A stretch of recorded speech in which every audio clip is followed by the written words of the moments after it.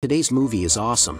It can be called the most brain-burning horror film. Many people even feel that the degree of brain burning in the island of confinement is not even close to this movie. The infinite loop of the plot makes people really enjoy watching. The movie starts off very straightforward, with the female lead Jess holding her autistic son, whispering to reassure him that it was just a bad dream and saying that she was going to be late. She sets about packing up her things. She picks up a promotional toy and wipes away her son's spilled paint. She heard someone ring the doorbell and went out to see that no one was there. She packs her clothes for the appointment. She meets Victor at the pier at 8.30. Jess arrived at the pier alone. Without her son, there were six people on the trip. During the cruise, Jess slept and had a nightmare that she was at the beach then woke up and went on deck to talk to Victor. But the boat didn't sail long before the wind stopped and there was a big dark cloud ahead because it was so outrageous. Victor asked the Coast Guard for help. A girl suddenly appeared to ask for help. She said help me, they are dead. And then there was no response. Then the storm hit one of the people out of the scene not long after the death of. The pace is a bit fast. The other five people are fine, sitting on the scrapped boat. Then a cruise ship came to them and everyone was happy to see that the savior had come. They saw a person on the boat, but this person was not enthusiastic, turned his head away, went on the cruise ship. How to shout no one responded. At the same time there was a peekaboo view of the camera. This made people feel scared. Jess, who had been in a trance, said she felt like she had been to this place before. Victor said the cruise ships are similar, and then with other small partners to study the cruise ship. The cruise ship named Aeolus is the father of Sisyphus, the god of wind in Greek mythology. Sisyphus because of failure to comply with the promise of death, was punished to push a boulder to the top of the mountain. The boulder never reached the top of the mountain and then rolled down the mountain, so repeatedly pushed the stone. Chatting. Suddenly came a sound. Jack went over and found a set of keys on the ground, and it was actually Jess's, and there was a picture of her son on it. Then we wandered into the ballroom where there were fruits and musical instruments. Victor said it was now 11.30, and Jess's watch, like the ship's clock, was stopped at 8.17. At that moment, Jess saw a figure. Jack rushed over. Victor also intended to go over to see. Let the couple stay here. Jess followed, thinking that Jack was in danger. Then the two went into a room and found a mirror with blood written on it to go to the theater. Jess was surprised and said she wanted to go back to the ballroom and get off the ship. Jack is still looking for the mystery man while the couple said they were also going to the theater. On the way, she also saw bloodstains. She arrived at the banquet hall and found that they were not there and the fruits were all broken. At that moment, Jack, covered in blood, came over. Jess went up to her, and Jack grabbed her by the neck. Jess struggles and finds a hole in the back of his head, and accidentally kills him. At the same time, there was a gunshot. Jess arrived at the theater and found Victor shot. Anna shouted, You shot him. Jess looked confused and said, I did not. Donnie asked, why did you want us to come to the theater? Jess continues, I didn't. Anna said, you're really crazy. Just finished shooting again. The couple was shot one after another. The attacker is a masked man. The masked man chases after Jess and Jess gets the upper hand in the struggle. The masked man says, they'll be back. You have to kill them. It's the only way to get home. And jumps off. Jess heard a piece of music and went into the house. In a few moments, they really came back. It's no one else. It's his former self and his little friend. Here to Jess number 1. The following boat called No. 2. No. 1 looked at the people below and left. Do you remember this scene? From here on, the loop is closed. No. 1 listened to them repeat the story of pushing the rock, instantly broke down, then lost the key, and then came to the ballroom was seen by No. 2. She ran to the deck and found Donnie's body. That's when Jack pushed the door out. Does this door still ring a bell? Seeing No. 1. He said, why are you running so fast? Number 1 tells Jack that there's another self and shows him Donnie's body at sea. Jack said, I just came from Donnie's. No. 1 pulls out an apple and smashes it. The bird flies away and there is no Donnie. Then she tells Jack again that you will die. Jack ignores her, and number 1 pulls him in excitedly to explain. A push and shove. The hole behind Jack appeared. It turned out that Jess had killed him.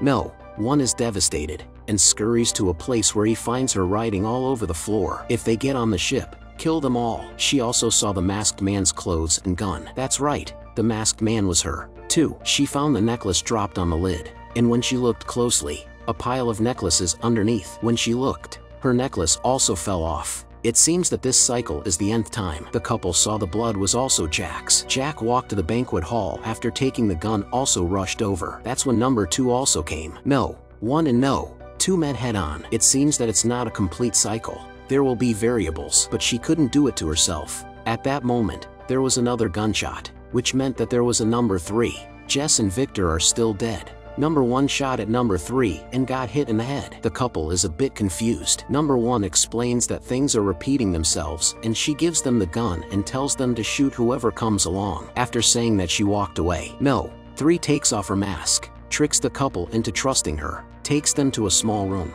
and kills Donnie and stabs Anna while they're not expecting her. Anna flees in a hurry, dragging her wounded body. That's when number 1 came and Anna was terrified. She couldn't believe anyone and found a place to send out a cry for help, the same one she heard before. Help me, they are dead. These closed loops are really powerful. No, one still found Anna, and there are already lying all over the body. All Anna, see here really admire. No, one took off his clothes to Anna. She said, just now not me. At that moment she heard a sound put her eyes and saw her other self knocked herself to death and threw her overboard. Immediately after, Anna also died. They came back. No, one looks down at herself looking at the ship and suddenly realizes that when people die they start all over again. Remember that voyeuristic view? The film's buildup can be. Everywhere is detail. No, one saw her other self. She explains as she kills Jack by mistake. No, one comes to Jack and says I know how to save you. People die and start over. So, no, one is about to go on a killing spree. She comes to the small room and sees the murdered Donnie with her name written on the glass. No,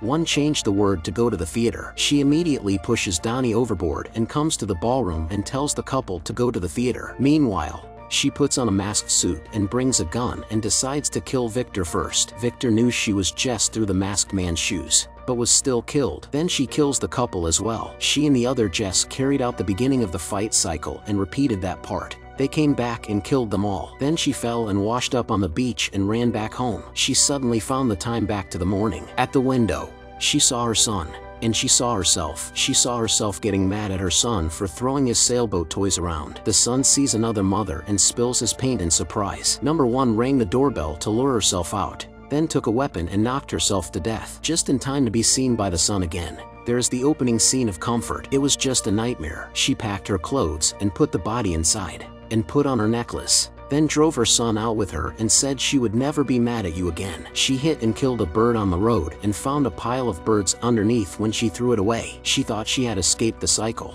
but it turns out it was still just part of the cycle. Number one says she has to get out of here, and then the crash happens. At this point, a band passes by and number one is fine. A black man next to her comes up and says he's a driver. No, one says he has to go to the pier. The driver drops off and asks, you'll be back. Won't you? No. One promised. I will. She arrives at the dock and starts the initial loop again. This is the end of the movie. Here's the breakdown. First of all, remember the Greek myth on the ship. Sisyphus was punished for breaking his promise to death by pushing the rock over and over again for an eternity. And Jess is also punished to repeat the cycle over and over again. Let's start with this car accident. From Jess is unharmed. It is reasonable to understand that the soul is dead and out of the body. The driver is the god of death or ferryman type. Jess wanted to say goodbye to her friend at the pier before going to the underworld. The driver said, you will come back, right? Jess promised, but never came back. The same as Sisyphus broke the promise with the god of death. So the question is, why did she never come back? Let's take a closer look.